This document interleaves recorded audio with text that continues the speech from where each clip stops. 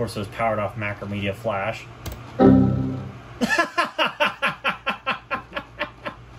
oh. Good day, folks, it's time for the HP Pavilion A747C to have its Windows XP recovery medium on the hard drive used to restore it once and again, uh, or maybe the first time, I don't know. So, let's get started.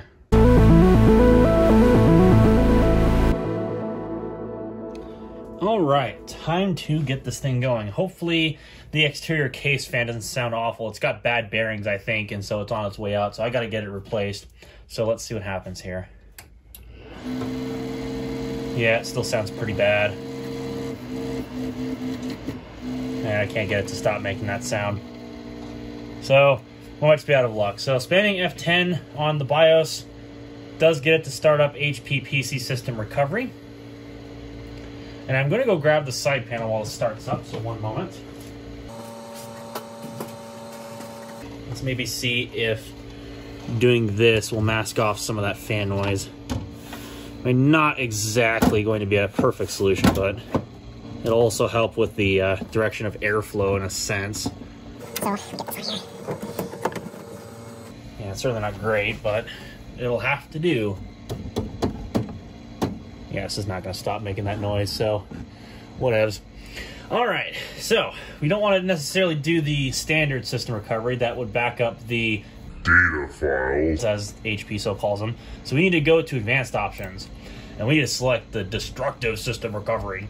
Please click back up your data file before trying this destructive recovery option. See warning below. Warning! This is destructive system recovery will reformat user partition on the hard disk to recover all applications, drivers, and the operating system factory ship condition. Accordingly, all your personal data files, applications, including upgrades, revisions to factory shipped applications that you installed yourself will be deleted. Additionally, after destructive system recovery is finished, to reinstall reconfigure any applications, including update, upgrades, revisions to factory shipped applications that you installed yourself. Your data files will need to be restored from backup. Not like I really care about that, but whatever. For continuing system recovery, please try the built-in repair features of Windows XP, such as the system restore and driver rollback capabilities, which I don't intend to use those. Yes, I will want to format the hard drive partition, so yes, I want to continue. All right, here, for the sake of sanity, because it's even driving me nuts too, and I'm sure it's probably driven everybody in the viewing audience nuts, let me just do this real quick. I'm to unplug that fan so it'll stop irritating us. There we go. Much better.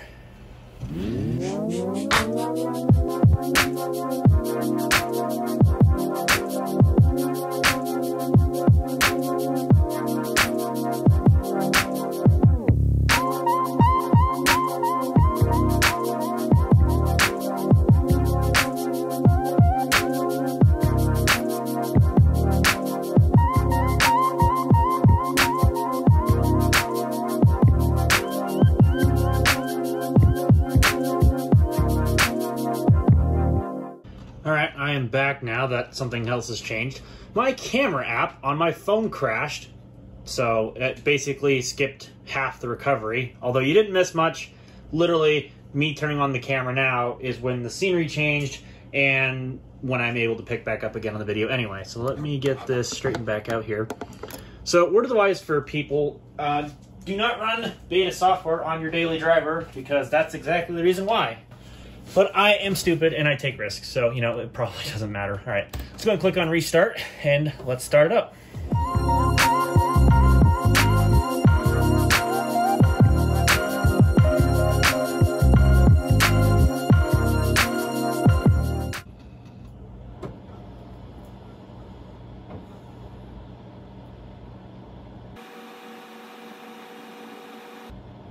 Or, well, I guess not. I don't know.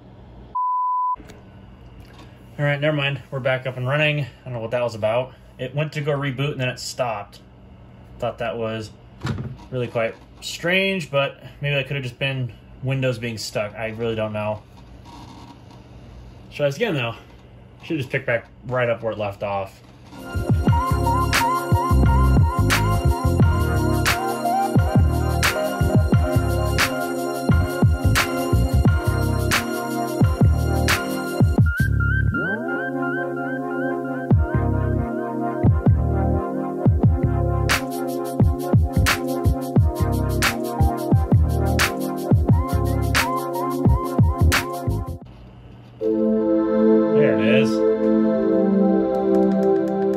the speakers down a little bit.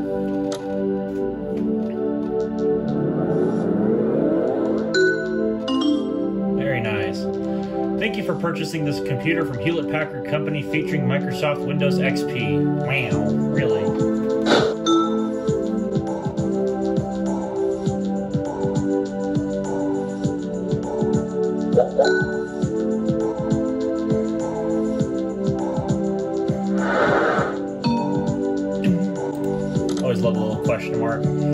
Yes, sound system is working.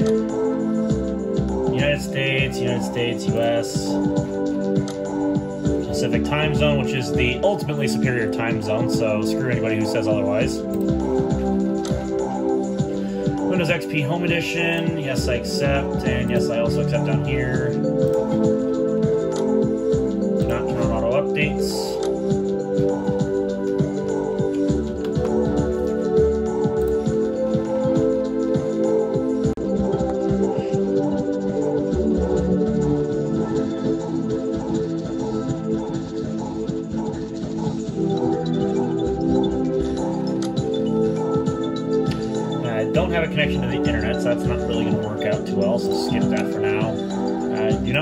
With Microsoft. Congratulations, you're ready to go. To finish setting up your new HP Pavilion PC, open Internet Access in the Start menu. Thank you for purchasing an HP Pavilion PC. To learn about the exciting features of Windows XP, take the tour, blah blah blah. It's just Microsoft Gov, so finish.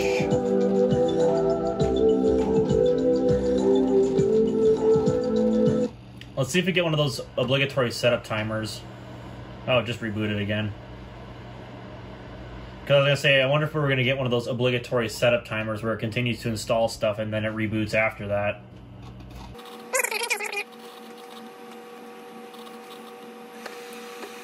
Just restarted again, it looks like. No, it looks like it got stuck in that weird eternally dead position. I'm not sure what that's all about. Because it, it just randomly, it looks like it's been getting stuck and then it just freezes like that. I wonder if that's just because of the caps by the CPU. I wonder if that's got something to do with it. As soon as I turn it back on, it seems like it starts working right away once again. But other times it's been really flaky. So, I don't know. Let me shut this thing off and I'll give it a couple of minutes and then we'll come back to it and see if this will finish off because that's uh, slightly annoying. Alright, looks like I got it to come back up once again. I reseated the RAM, so I'm to see if that helped with the system stability because I had to do that with. Oh. Oh no! I gotta do it all over again because HAL's broken. Damn it. Okay, slight change of plans. Um, unfortunately, I went to go start it back up, and I got a Windows could not start because of the following system file being corrupted, and it ended up being hal.dll. So go figure, of course, that corrupted itself as it was rebooting because of a black screen thing this thing's been doing. So I'm having to forcefully re-recover the system back to factory because HAL is corrupted, and that's kind of a difficult file to replace. So that sucks. So I get to do this all over again. Hopefully it doesn't do it again because that would be super majorly annoying. I mean, I guess in all fairness, if this doesn't complete, I could just go take the hard drive to the A250N because that thing works fine, and I could just finish the video there. But what's the fun in that, right? So hopefully this doesn't do it again. Okay, let me get the speaker on. Power on. I think we made it. I think we made it, boys.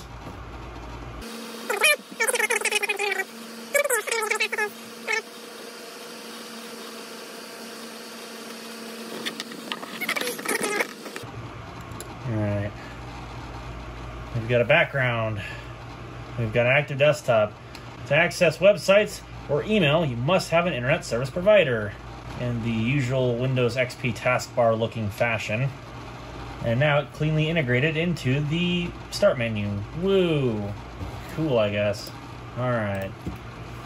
Windows XP Home Edition, Service Pack 2, Pentium 4 2.8 gigahertz, and 512 megs of RAM. Surprisingly, we actually made it. I didn't think we would. Yep, as I expected, Intel 915 chipset. That makes sense for this era of machine, about maybe 2004, 2005, in that range. Very nice. We got a software pair wizard. We've got Real Player Norton Antivirus 2004. Uh, same background as my A1477C. We even got this goofy internet access thing, so I guess we'll launch that real quick and get that out of the way. Welcome. Let us help you in setting up the internet. You The can explore internet? services from well known providers or transfer an existing internet account. This program contains a catalog of tested services for your PC. Your first step is to refresh this catalog. The benefits of the internet are just a click away. To proceed, click Start. No, what if I want to hit exit? Yeah, exactly. Please click the tabs above to see other service categories.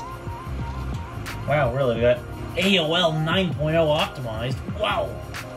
Little guy's running around at the speed of sound. He's like Sonic the Hedgehog, except he's not. Alright, HP Organize gives you easy access to files, programs, search engines, and websites. Click next for a demo of this great new tool. Well, I kind of don't have a choice. Welcome to HP Organize. HP Organize software gives you one click access to all your favorite files, programs, and websites. Customize it to fit your needs. It's easy. Just drag and drop to add files and websites and organize them by category.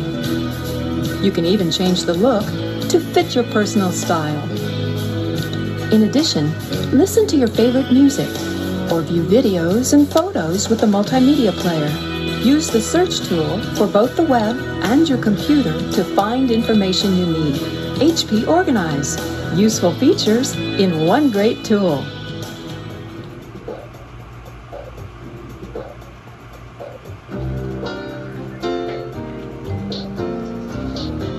Quite a sophisticated little video, eh? If the tour continues or if it just sits here and plays this little loop. Making your PC uniquely yours.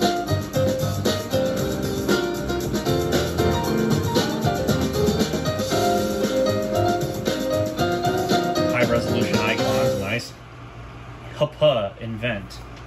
Of course, it was powered off Macromedia Flash.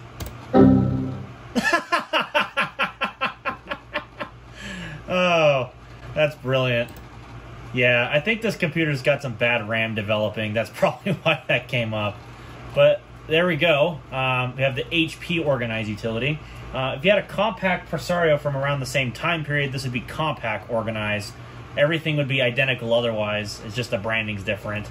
We do have a preloaded iTunes because at this time HP was selling uh, iTunes compatible products like the HP iPod, so that would make sense that they preloaded on their computers.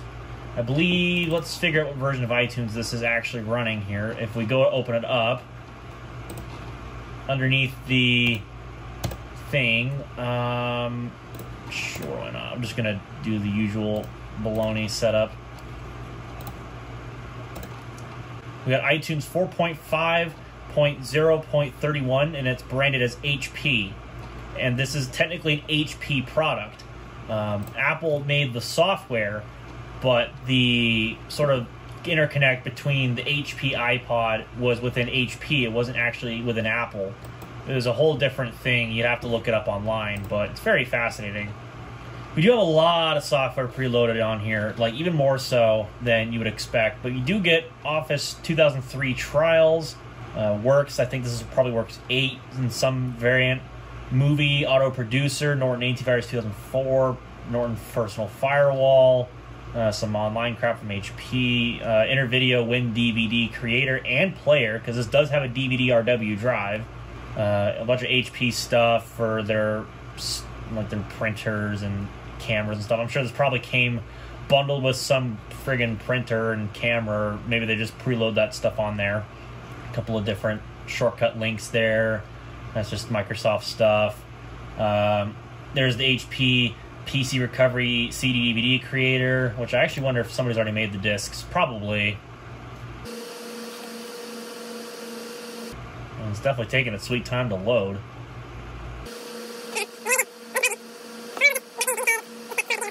Whatever. Definitely got a lot of free RAM, that's for sure. I don't know, maybe I gotta wait on that. Uh, but there's some other things in here too, like the PC Doctor and the updates from HP, which uses the old 2002 style icon. Uh, print me internet printing, Quicken user edition. I think that's probably some Quicken 2004 trial. QuickTime from Apple that makes sense because of the iTunes. Real Player, Sonic Record Now, Spam Subtract Spam Manager, and Spy Subtract Spyware Manager. I'm sure those are definitely legitimate. Um, WeatherBug, I remember that. Uh, see, Microsoft Plus Dancer LE, Microsoft Plus Photo Story 2 LE. Although this doesn't actually have Plus loaded on it, you probably could have loaded Plus on it. But in any case, yeah, that's about the lot with this machine. I know it was probably a long and dragged out video, but I well and truly I think this thing's got some failing RAM. And so I think that's been the cause of some of the trouble with this machine and trying to stay up on the recovery without it corrupting something or resetting at random. So I think that's going to be this thing's first stop is getting some new DDR RAM. It takes DDR 400 megahertz RAM. Either that or this motherboard needs some recap jobs, uh, particularly the two bulging caps that are by the CPU. I'm not sure if that's entirely what's causing this, but it could be. But in any case, uh, yeah, that's basically going to wrap up this video. So if you like what you saw, well, then you know what to press. If you didn't like it so much, well, then you also know what to press. Get subscribed down below and click the bell so you don't miss when I upload new videos. And with that having been said, I'm going to get out of here. So, uh, before we do that, actually, let's just go and enable the standard Windows sounds just because I don't think they are enabled by default, including the address bar, which needs to be enabled. Thanks, uh, HP, for definitely not giving us a useful feature.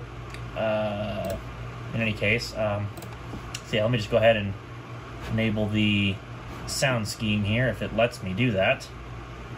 Or maybe it won't. I, I don't know. I'm not one to judge. Whatever. Not like it's that big of a deal. So, in any case, um, yeah. Until the next one, thank you all so much for coming to watch. I'll see you later.